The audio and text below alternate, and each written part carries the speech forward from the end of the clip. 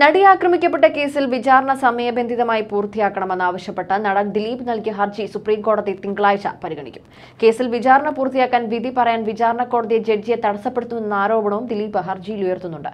തന്റെ മുൻ ഭാര്യയും ഒരു പോലീസ് ഉന്നത ഉദ്യോഗസ്ഥയും ചേർന്നാണ് തനിക്കെതിരെ കേസുണ്ടാക്കിയതെന്നും സിനിമാ മേഖലയിലെ പലർക്കും തന്നോട് ശത്രുതയുണ്ടെന്നും ദിലീപ് ഹർജിയിൽ ആരോപിച്ചിരുന്നു. കേസിൽ ഒരിക്കൽ വിസ്തരിച്ചവരെ വിസ്തരിക്കാൻ വീണ്ടും അനുവദിക്കരുതെന്ന ആവശ്യം ദിലീപ് ഹർജിയിൽ ഉന്നയിച്ചിട്ടുണ്ട്. തുടരന്വേഷണ റിപ്പോർട്ടിന്റെ അടിസ്ഥാനത്തിൽ പുതിയ അന്വേഷണത്തിന് അനുമതി നൽകരുതെന്നും നിർദ്ദേശം നൽകണം. വിസ്തരിച്ചവരെ വീണ്ടും വിചാരണ കോടതിയിൽ വിസ്തരിക്കാൻ അനുവദിക്കരുത് എന്നിവയാണ് ഹർജിയിലെ ദിലീപിന്റെ പ്രധാന ആവശ്യങ്ങൾ.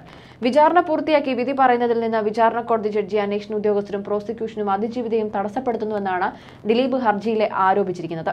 വിചാരണ കോടതി ജഡ്ജിക്ക് സ്ഥാനക്കയറ്റം ലഭിക്കുന്നതുവരെ വിചാരണ നീട്ടിക്കൊണ്ടുപോകാനാണ് ശ്രമിക്കുന്നതെന്നും ദിലീപ് ആരോപിച്ചിട്ടുണ്ട്. മലയാള സിനിമാ മേഖലയിലെ ശക്തരായ ഒരു വിഭാഗത്തിന് തന്നോട് വ്യക്തിപരവും തൊഴിൽപരവുമായ ശത്രുതയുണ്ട്. അവരാണ് തന്നെ കേസിൽ പെടുത്തിയത്. മുൻ ഭാര്യയ്ക്കും അതിജീവിതയ്ക്കുമെതിരെയും ഹർജിയിൽ വിമർശനമുണ്ട്.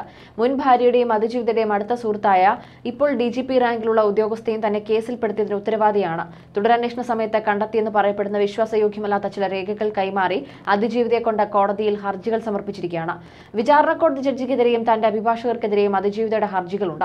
തുടരന്വേഷണത്തിന്റെ പേരിൽ തനിക്കും അഭിഭാഷകർക്കും വിചാരണ കോടതി ജഡ്ജിക്കുമെതിരെ മാധ്യമ വിചാരണ നടക്കുകയാണ്. അതിജീവിതയ്ക്ക് വേണ്ടി ചാനൽ ചർച്ചകളിൽ സംസാരിക്കുന്ന അഭിഭാഷകനെ കേസിലെ പബ്ലിക് പ്രോസിക്യൂട്ടറായി നിയമിച്ചതായും ദിലീപ് ഹർജിയിൽ ആരോപിച്ചു. അതേസമയം നടി ആക്രമിച്ച കേസുമായി ബന്ധപ്പെട്ട സുപ്രീം കോടതിയിലെ ഹർജികൾ പുതിയ ബെഞ്ച് പരിഗണിച്ചു. Chief justice U U Lalit ആണ് പുതിയ ബെഞ്ചിന് ചുമതല നൽകിയത്. ദിനേശ് മഹേഷിന്റെ അധ്യക്ഷനായ ബെഞ്ചായിരിക്കും ഇനി കേസ് പരിഗണിക്കുക. നേരത്തെ ഹർജികൾ പരിഗണിച്ചിരുന്ന ജസ്റ്റിസ് എ എം ഗാൻവിൽക്കർ വിരമിച്ച പശ്ചാത്തലത്തിലാണ് നടപടി. നടി ആക്രമിക്കപ്പെട്ട കേസ് പരിഗണിച്ചിരുന്ന ജസ്റ്റിസ് ഗാൻവിൽക്കറിന്റെ ബെഞ്ചിൽ ജസ്റ്റിസ് ദിനേശും ഉണ്ടായിരുന്നു.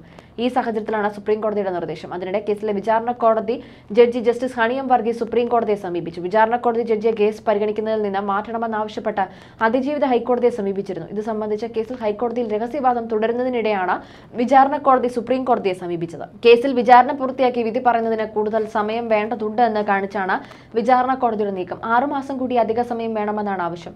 വിചാരണ കോടതിയുടെ ആവശ്യം ജസ്റ്റിസുമാരായ ദിനേശ് മഹേശ്വരി ബേല എം ത്രിവേദി എന്നിവരടങ്ങിയ ബെഞ്ച് തിങ്കളാഴ്ച പരിഗണിക്കും. You are watching You are watching You're watching me and you're watching me on, on metromatney.com. on metromatney.com. metromatney.com.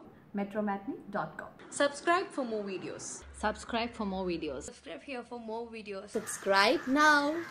Thank you.